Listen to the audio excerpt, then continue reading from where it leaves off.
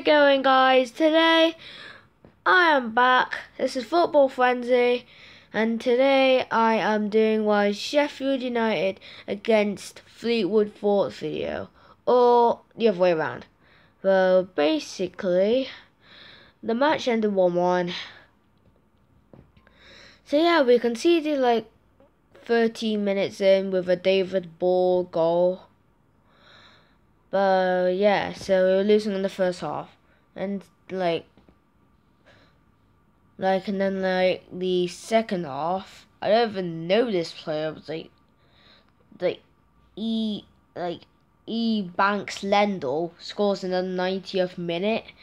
90 scores them uh, last last minute last minute goal. Make sure that we get a draw. So can't can't believe it. Literally, I can't believe it. Just wow. Wow. But thank you guys so much for watching. So this was quite short. I only watched a little bit of the match. But thank you guys so much for watching. Leave a like and share. Subscribe if you are new to this channel.